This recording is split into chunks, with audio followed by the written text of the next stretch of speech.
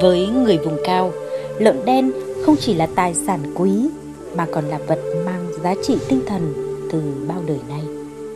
Các dịp lễ Tết cổ truyền của đồng bào vùng cao nhất định phải có thịt lợn đen. Từ vật nuôi truyền thống bắt nguồn từ thói quen chăn thả lạc hậu. Này người vùng cao đã mở rộng hình thức nuôi ngay tại bản và phát triển giao thương lợn đen ngày một mạnh mẽ. Những phiên chợ lợn đen hay lợn bản được mở ra và giữ trong mình những nét độc đáo riêng có.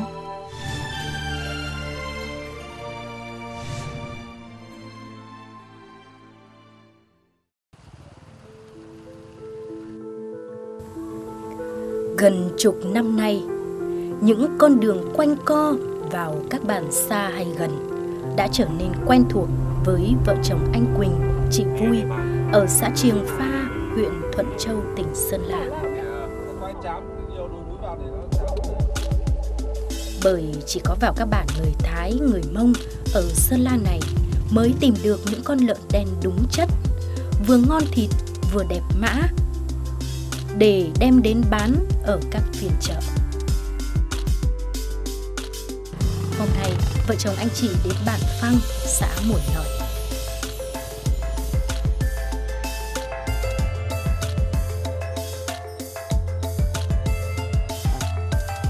Bác à, nhà mình bảo bán lợn à bác? À, vâng em ạ.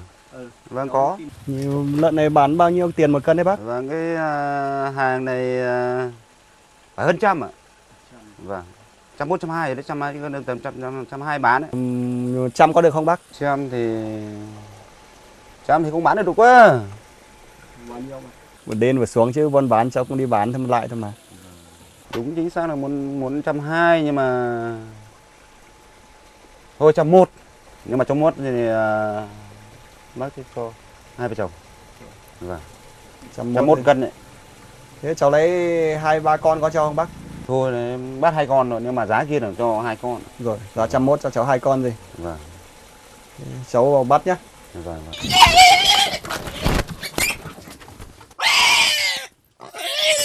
Lợn ngon nha. Vâng lợn coi để uh, tết mà. Mỏm nhọn hoắt thật đấy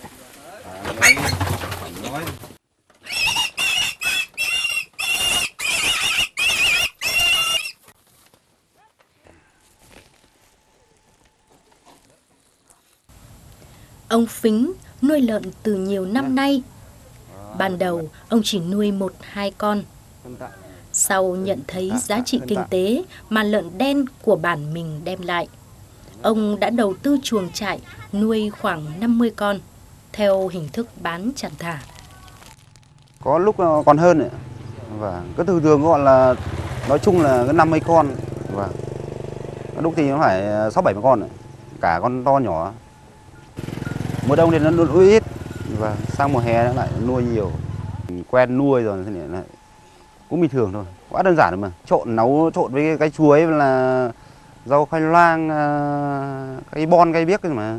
Mình à, thỉnh thoảng nếu mà ngoài chợ thì có khách nào đến thì gọi mình lấy số điện thoại thì mình à, bảo mình ra chợ thì mình mang ra chợ cho họ.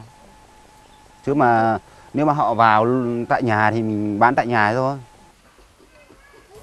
khả năng thích nghi tốt với điều kiện chăn thả và nuôi nhốt ở các vùng núi cao. Lợn đen được nuôi ở các bản vùng cao cho chất lượng thịt thơm ngon, đặc trưng. Bởi vậy mà vài năm trở lại đây, trong khi lợn hơi ở thị trường miền xuôi lao đao, thì lợn bản vùng cao nơi đây vẫn đắt hàng. Nuôi ở dưới xuôi mình ấy, dưới xuôi họ bảo là nuôi cái tăng trọng này trước thì mình không không có đầu tư cái như mình nuôi bình thường nói chung là để mình có lời lãi tí chứ. Nuôi ờ, chữ kia thì nó lại đầu tư nhiều. Cho nên đầu tư bình thường thôi. Củi kiếc xong là rau cỏ nào mình ờ, nhặt từ ờ, trên rừng xuống xong là mình tự nấu thì nói chung hai năm trước thì nói chung là hơi bấp bênh tí giá thị trường ấy. Vâng, được cái năm vừa rồi với là năm về tới này thì chắc chắn là ổn định. Cứ gọi là mình trừ chi phí tầm 2 triệu 2 triệu rưỡi một con nào với hình thức nuôi đơn giản, truyền thống từ bao đời nay, lợn bản không chỉ đem lại thu nhập ổn định cho người nuôi mà còn cho cả những thương lái mua bán lợn ngay tại vùng. Lợn sau khi mua về sẽ được vợ chồng anh Quỳnh thả nuôi trong chuồng chờ đến ngày chợ phiên. Rau củ vườn nhà và thân cây chuối vẫn là thức ăn chính mà vợ chồng anh Quỳnh sẽ dùng để cho lợn ăn trong những ngày này.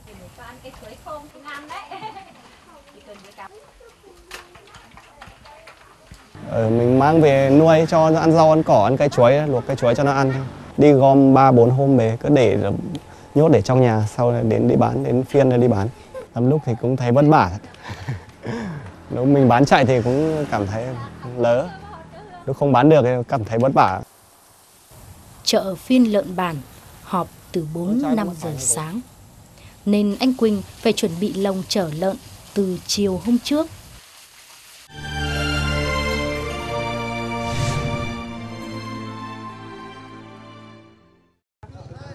Mới 5 giờ sáng thế nhưng âm thanh của những tiếng lợn bản đã vang khắp cả một góc đường khu chợ phiên Mồi Nội.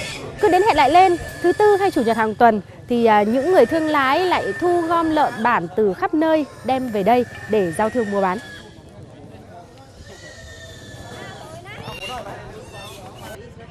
Không khó để tìm thấy vị trí đứng bán lợn của vợ chồng anh Quỳnh. Cả hai vợ chồng đã đem lợn đến chợ từ 4 giờ sáng. Việc dậy sớm đi chợ phiên đã trở thành thói quen gần 10 năm nay. Hôm nay là em thấy là toàn lợn con nhỏ như này à, ngày nào mình cũng bán loại nhỏ nhỏ như này ạ. ừ, con gặp con nhỏ thì bắt con nhỏ gặp con to thì lấy con to À thế à. Ừ. Hôm nay là đi bao nhiêu con đấy ạ? Ừ, hai mươi mấy con Hai mấy con. bán được mười mấy con rồi À thế à. Ờ, Giá lợn thì những thời điểm này thì nó nào ạ? ừ, tám mươi tám năm So với thời điểm trước là nó có tăng hay giảm gì không? cũng tăng lên một chút Hai vợ chồng thường đi um, bán lợn ở chợ ở đây này thì uh, đến tầm nào thì mới nghỉ Tết ạ? tầm 27 28 ấy Nghĩa là đến phiên cuối cùng luôn. đến phiên cuối cùng luôn À. Phiên đấy thì có đông hơn không ạ? ôi cũng nó cũng thưa rồi dân về quê hết rồi Thì khi vào trong bản ấy thì là mình có phải hẹn trước người ta không hay là mình cứ đến nhà nào có thì là mình thấy để là mình mua? mình đi gặp thì nó bảo chưa bán thì mình hẹn trước lấy số điện của họ À, đến ngày thì là mình đến. đến ngày thì mình đi lấy Ừ. lúc thì mình đi kiếm Ừ. có ngày hầu như ngày nào cũng đi mà Ừ. Thời điểm này là lợn là dễ kiếm hay là khó ạ?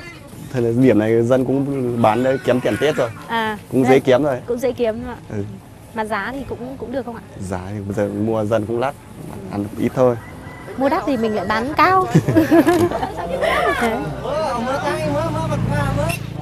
Thường là những người ở đâu người ta sẽ mua chọn mua lợn này ạ? khu vực ờ, từ u rồi đi xa lắm từ Sanda Nội còn nòi nó đến đây mua hết có người đứa thằng Mộc Châu Mộc Viết nó còn chuyển đến đây mua mà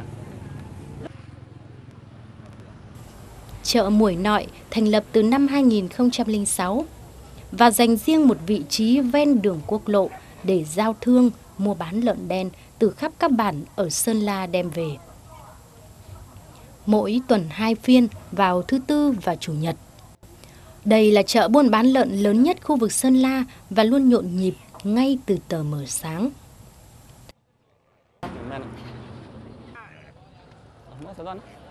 Sáng nay ấy thì là bác phải đi từ mấy giờ mới đến Ừ, được đến đi đây ạ? từ lúc 1 giờ đấy tận dân cò mạ cơ mà xa chứ bốn chục năm chục cây Đi thì ở nhà đi thì 4 giờ đi thì đến đây cũng thường thường là 4 rưỡi đến. phiên nào đến cứ thấy chân nó bé người nó dài Đấy.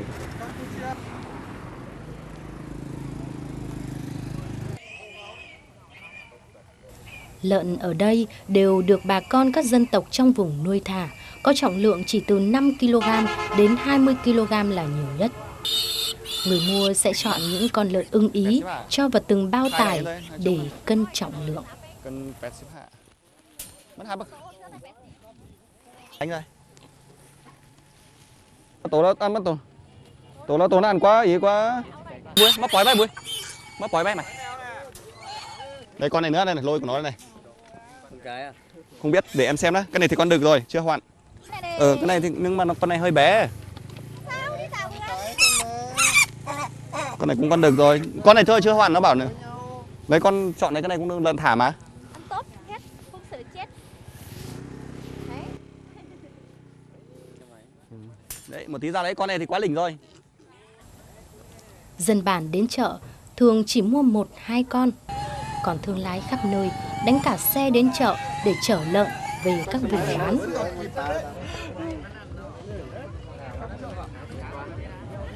Phiên như này là mới có lợn con cơ. Con ở trên chợ mình không có. Mình thích lợn kiểu gì thì mình chọn thôi. Nhưng ý mình thì mình sẽ lấy lợn mấy con là 10 cân. Con to này thì ờ, giá tầm 70, con này 80.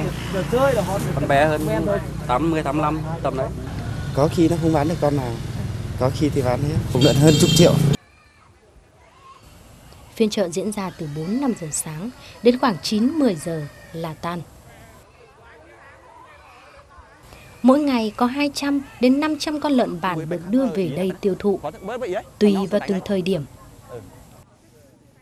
Càng vào dịp lễ Tết, lợn từ các bản cũng được đưa về đây tiêu thụ nhiều hơn.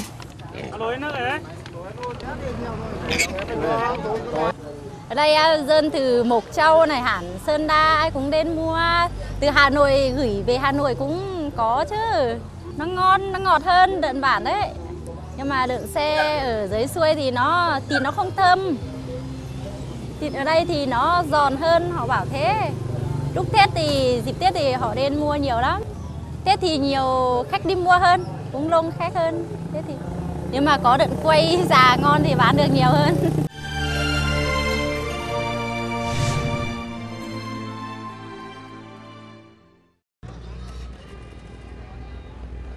Trời dần sáng rõ, những cuộc mua bán lợn có phần thưa dần. Những con lợn đen được người mua chở đi càng nhiều. Ông Bình, bà Hoa đang lựa mua rất kỹ một con lợn trong số lợn còn lại ở chợ.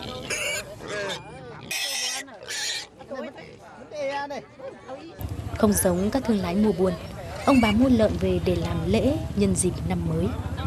Đây là phong tục truyền thống của người Thái ở Sơn La. Vì để làm cái tốt cái lành thì nó phải ký chứ. À, nó kỳ kèo quá thì coi như là không đấy. Con lợn này thì coi như là 15 cân thì mua giá 75. Trước đây, gia đình nào ở vùng cao Sơn La cũng nuôi vài con lợn để dùng đến khi nhà có công việc. Nhưng dần già, khi các phiên chợ như chợ Mùi Nội được ra đời, thuận tiện cho việc mua bán thì việc nuôi lợn chỉ còn tập trung ở những hộ chuyên nghiệp. Vì thế mà vợ chồng ông Bình bà Hoa cũng dễ dàng có được con lợn phù hợp để phục vụ những phong tục cổ truyền trong gia đình mình. Thủ tục thì ờ, khoảng 15 cân đến 20 cân mới làm bảo. Nó không có mớ mấy. Cái này phải lần lần ờ, bản mới ngon.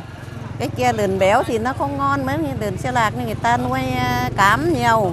Cái này thì người ta không nuôi cám nhiều, người ta chỉ ăn cho ăn sẵn với ăn ngô.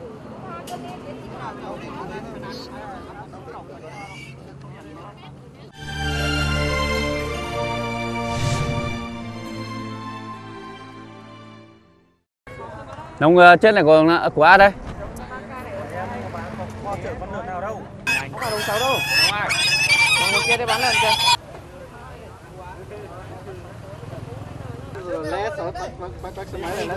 Cũng như nhiều phiên chợ khác, mỗi thương lái đem lợn đến đây đều có trả phí chợ. 10.000 đồng mỗi lồng và tuân theo sự sắp xếp của những người quản lý chợ. Tuy nhiên, gặp những hôm thời tiết không thuận, lợn không bán được, họ cũng sẽ không phải trả khoản phí này. À, thứ nhất là họ phải ờ, hàng nối là theo hàng nối của ờ, của ban quản lý chợ ừ, chỉ dẫn là xếp rằng hai dãy hàng còn thu phí chợ là 10.000 một năm và trường hợp nếu họ không bán được thì họ họ ừ, nộp 5.000 có khi là họ xin thì cái đấy là mình vẫn phải phải phải linh động họ bán được thì mình mới thu nó không bán được thì này thì thôi Thế hôm nay ờ, cháu bán được ờ, nhiều chưa? Bán được mười mấy con rồi. Mười mấy con rồi à? Ừ. Thế cho chú xin vé chợ. Hai lồng cháu. Hai lồng gì? Ừ, thế Cháu lồng này với lồng này. rồi. Xe vé luôn. Tí nó giữ lại cái vé này. Thế ờ, đợt này là đi mua lợn tận đâu cháu? Đi mua mường é. Trên Mường É về à? trên mường é trên phổng lái phổng lái về có mạ về có mạ à? xa lắm Ừ. Lợn ờ, lợn ở lợn trên nước nghe chừng cũng đẹp đấy chứ nhỉ? tất nhiên rồi lợn kia phải lấy lợn ngon chứ họ mang về quay mà chợ phiên lợn bản họp ngay ven quốc lộ.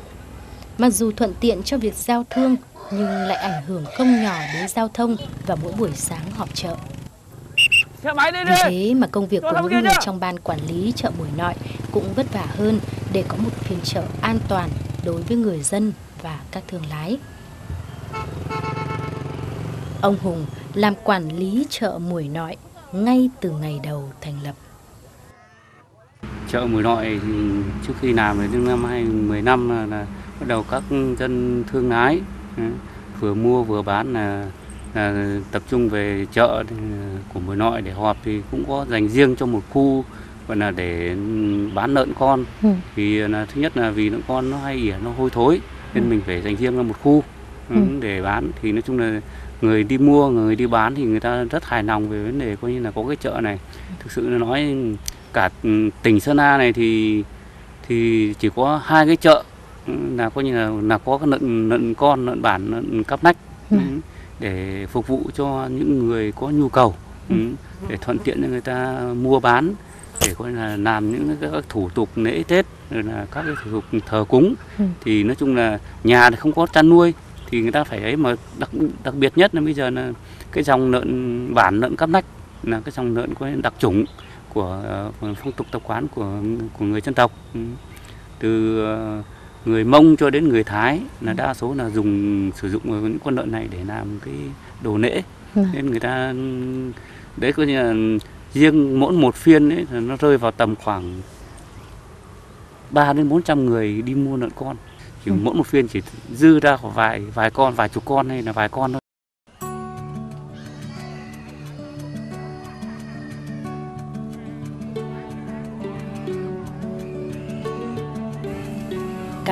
trưa, chợ càng vắng dần. Chỉ còn vài con lợn còn sót lại trong vài lồng sắt. Lúc này, vợ chồng anh Quỳnh cũng đã bán hết số lợn đem đi trong ngày. Nhưng không phải buổi chợ nào anh chị cũng bán lợn được thuận lợi như hôm nay.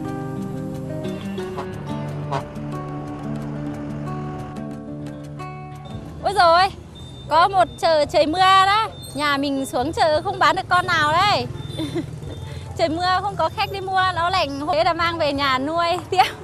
Chợ sau lại mang xuống thế thôi.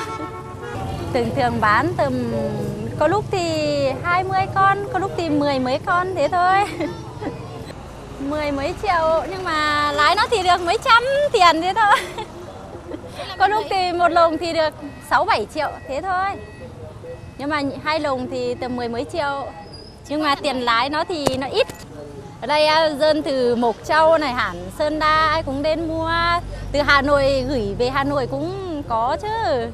Nó ngon, nó ngọt hơn đợn bản đấy. Nhưng mà đợn xe ở dưới xuôi thì nó thì nó không thơm. Thịt ở đây thì nó giòn hơn, họ bảo thế.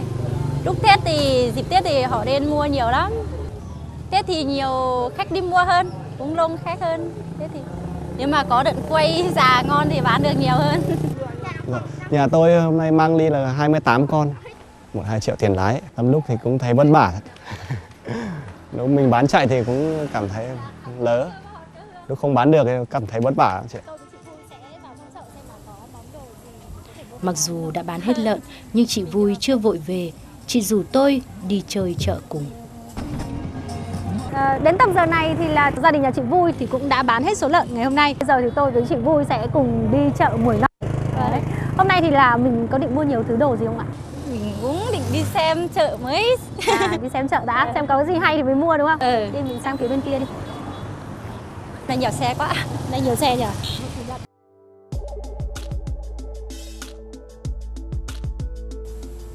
Phía bên kia đường là chợ phiên Mùi Nội. Với đầy đủ các mặt hàng, nhu yếu phẩm, phục vụ đông đảo bà con trong và ngoài xã đến mua bán.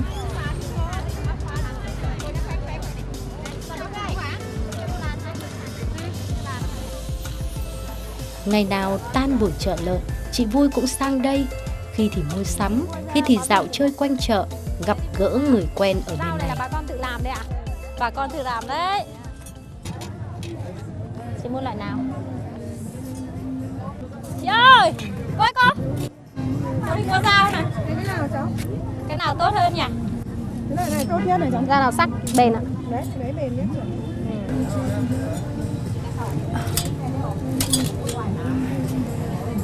đi mở hàng thì lấy 120 nghìn, à, lấy cả đôi à hay một cái? Cho đây một cái bao nhiêu đấy con?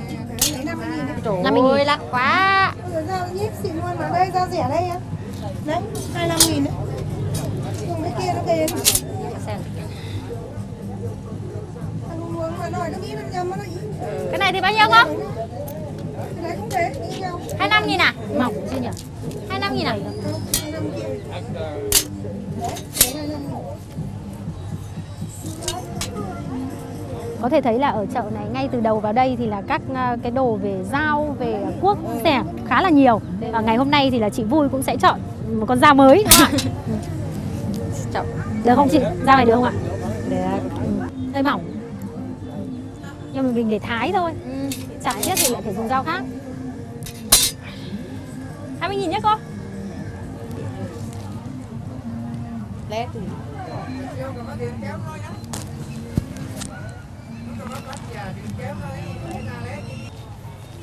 Thế đó hai người. Lại đi tiếp. À, tại sao? Ừ, đúng không? Nhỏ hết rồi. Mấy cái này là hơi nhỏ. Ừ. Cháu người lớn đó. 9 tuổi à, những, những bộ này là phải mua cái áo to hơn đúng không? Nhỏ hết rồi. Các phụ nữ ở đây là biết đàn. Ở trên Anh đi bác sĩ nè. Viên nào cũng bán ở đây hả chị? Thế à? Thế hai hai nhà có gần nhau không ạ? không, xa nhau. À, Em thì ở trên, chị thì ở trong này thôi. nhưng mà quen biết nhau. Chắc là bữa Đi bán cho chị. bữa đi chợ nào cũng cũng đến để trò chuyện đấy ạ. Ừ. Đấy, mình cái cái này cho chị đấy. À, cái chùm tặng cẩu đấy. là cái chùm tặng cẩu. Ờ, mình làm. Chị làm á? Ờ, Cái này là chị tự làm ở nhà đây. mình làm nhà đấy. Tự làm xong là bán cho chị gái đây. Ờ. Cái này nội cho là làm mới mới Hay nhờ giỏi nhờ. Bên này đây cẩu lên. Chọn hàng đẹp ở đâu? Ừ. Thường thường thì được 10 cái, 20 cái để đi bán thôi. Thế cũng tiện Đi chợ thì đi. tiện chợ thì cầm theo.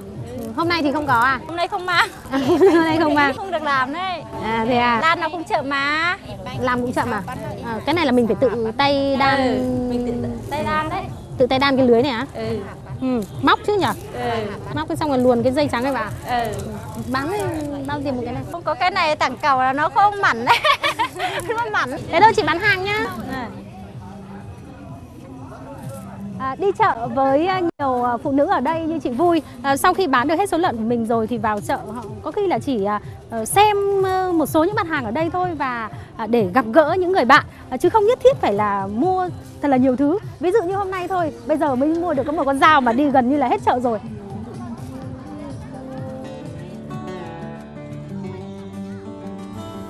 Sau khi dạo quanh khắp các gian hàng ở chợ, chị Vui cũng mua thêm ít trái cây về làm quà cho các con ở nhà.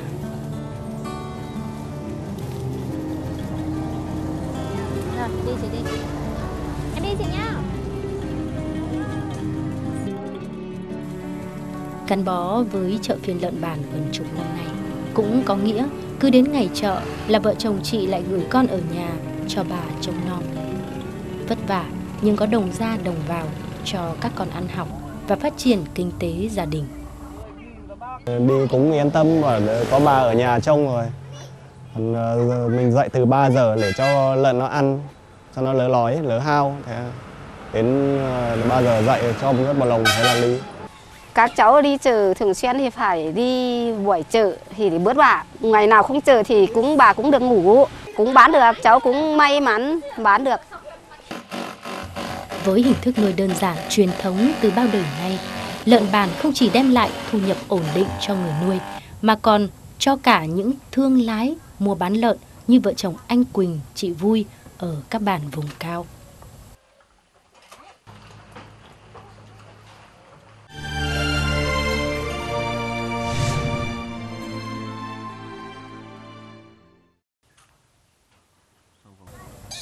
Thịt lợn bản là đồ lễ không thể thiếu trong lễ cúng ma nhà, cúng giải hạn của gia đình người Thái ở Sơn La. vào những dịp giao thoa giữa năm mới và năm cũ. Ngay từ sáng sớm, những người đàn ông trong gia đình ông Bình đã chuẩn bị làm thịt lợn. Đây chính là con lợn bản được vợ chồng ông Bình lựa mua từ chợ phiên lợn bản ở Mùi Nội ngày hôm trước. Đi chọn lợn từ ngày hôm qua, phải chọn con lợn không cần to nhưng phải đẹp và khỏe. Phải đi mua lợn bản, mua gà về làm lễ dài hạn cho cả gia đình, sang năm mới được may mắn. Trong khi những người đàn ông tập trung làm thịt lợn, thì những người phụ nữ chuẩn bị đồ xôi và các đồ lễ khác. Đây cũng là dịp để các thành viên trong gia đình tụ họp. Chia nhau làm việc nào, người nào việc người ấy làm. Có hai lứa thì làm cơm, xôi, rồi làm à, ví, con trai thì mùa lợn này, này phải à, cúng như thế này thì mình làm ăn thì à, dễ dàng hơn đi buôn bán cũng thoáng hơn được Đồng bào Thái còn có nghi thức cúng ma nhà gọi là sen hương và giải hạn gọi là sen kẻ.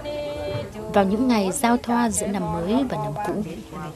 Với hai nghi thức này, ông Bình mời thầy cúng đến nhà để làm lễ. Có một điều đặc biệt là các loại thịt sẽ được chia làm hai phần, thịt sống và thịt chín để phục vụ cho nghi thức này. Người Thái mỗi khi có công to việc lớn đều làm lễ cúng ma nhà để thông báo với tổ tiên và mời tổ tiên về hưởng thụ lễ vật. Lễ vật phải có đủ các thứ làm ra, cấy hái được. Phải có thịt lợn bản thờ cúng là để cầu mong sức khỏe, may mắn và cuộc sống an lành trong năm mới. Nó là phong tục truyền thống rồi. Thiếu lợn thì không được.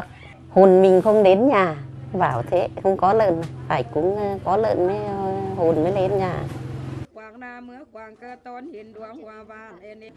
Từ xa xưa đồng bào Thái đã có tục thờ cúng tổ tiên. Trong đó thờ cúng ngày Tết cổ truyền được bà con chú trọng hơn cả. Những ngày này các gia đình người Thái thực hiện các nghi thức cúng ma nhà và dài hạn. Bởi theo quan niệm của đồng bào Thái, muốn có sức khỏe dồi dào, làm ăn phát đạt, mùa màng bội thu, chăn nuôi trâu bò, lợn gà, sinh sôi đầy đàn thì phải chú trọng đến việc thờ cúng này. Đây cũng là dịp họ hàng thêm gắn bó, chia sẻ, giúp đỡ nhau trong cuộc sống đời thường.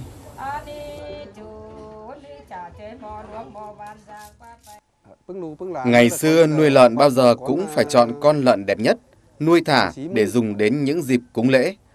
Bây giờ ít nuôi rồi thì đi mua cũng phải chọn con đẹp, tốt. Như vậy là mình thể hiện cái thành ý của cả gia đình, công việc nó mới được tốt đẹp.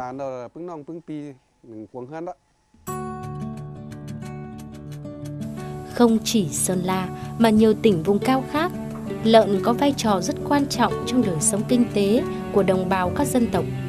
Vì thế, ở bất cứ phiên chợ vùng cao nào nơi đây, ta cũng đều bắt gặp những chú lợn được đưa về chợ trao đổi mua bán.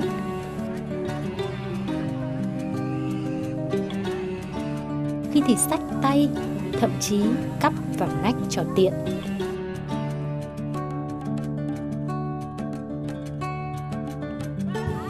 Rồi cho vào lồng sắt. Nó cũng khẳng định lợn không chỉ là vật nuôi mà còn là một điểm tựa kinh tế quan trọng và có giá trị tinh thần của đời sống người dân vùng cao